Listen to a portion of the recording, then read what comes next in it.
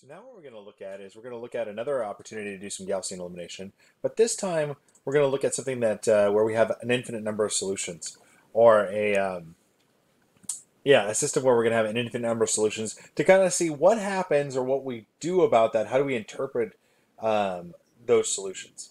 Okay, so let's start out with we have our equation x1 minus 2x2 minus x3 plus 3x4 equals 0 negative 2x1 plus 4x2 plus 5x3 minus 5x4 equals 3, 3x1 minus 6x2 minus 6x3 plus 8x4 equals 2. Okay, so the first thing that I want to do is I want to transform this into a, an augmented matrix so I can do some Gaussian elimination. Basically, that's going to be taking the coefficients here. So like starting with 1, negative 2, negative 1, 3. Our line for our solution vector, 0, negative 2, 4, 5, negative 5, 3. Then 3, negative 6, negative 6, 8, and 2. Now, a couple of things that I want to notice about this before I even start is to notice that I have four variables but only three equations. So that means that it's going to be well, most likely it's going to be impossible for me to have only one solution. Okay, to have a single solution. So either, in this case, I'm going to have no solution, well, or most likely an infinite number of solutions, right? Basically, one of the uh, um, variables is going to be dependent upon the other variables. Okay, so what we have to do is we have to go, okay, well, what am I going to do then? Well, that's okay. We'll, we'll take a look at that. We'll cross that bridge when we get to it. The first thing we want to do in Gaussian elimination, though, is we want to get a 1, a leading 1, in that top left-hand uh, column, left-hand row. And we have one there already, so we don't have to do anything. So what we'll do next though, is I'm going to take row 2, and I'm going to add two, plus 2 row 1. Okay, and that's adding 2 multiplied by 2. And just for the sake of keeping everything neat and clean, negative 2, 4, 5, negative 5, 3. We'll add to that 2 times 1, negative 2, negative 1, 3, and 0. So this is now 0, 0, 3, 1, and 3. So my new matrix is 1, negative 2, negative 1, 3, 0, 0, 0, 3, 1, 3, and 3, negative 6, negative 6, 8, 2.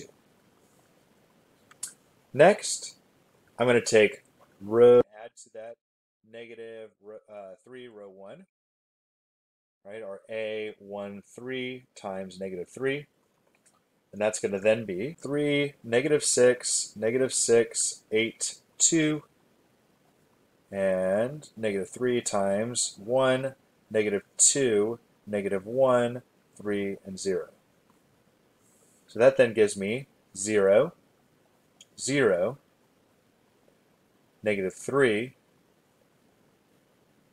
negative 1, and 2.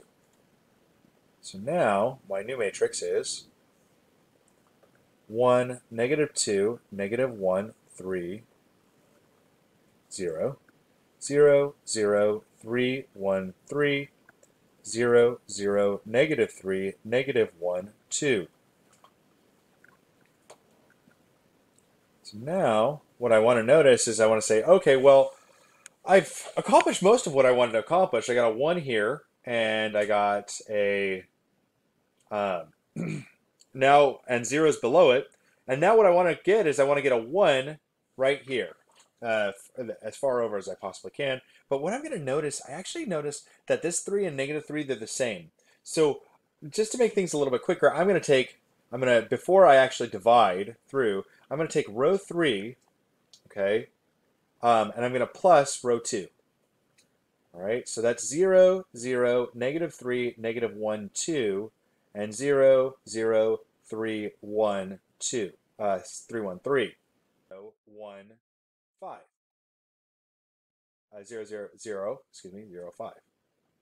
So now my new matrix, oh, by the way, this is add um, 2 to 3 multiplied by 1. So this is now 1, negative 2, negative 1, 3, 0. And 0, 0, 3, 1, 3, and 0, 0, 0, 0, 5. Uh-oh, we have a problem. This isn't actually an infinite solutions example. In this case, what we've got, we've got a row of zeros down here, okay? And we've got a 5 over here on the solution vector. So if we know anything, that's basically saying that 0 is going to equal 5. Because we have plus 0x3 plus 0x4 equals 5. And that's impossible. So this matrix is no solution. I end up with no solution to my uh, to my linear system of linear equations. So whenever I get a matrix where on the coefficient matrix side I have a row of zeros and on the solution side I actually have a value, right, instead of that same row of zeros, then what I'm getting is is no solution. Okay, because basically I'm getting a, a false statement. I'm getting 0 equals some number. In this case, 0 equals 5. And so, so I'm going to go up here, and I'm going to change this from infinite solutions to a no solutions example. All right.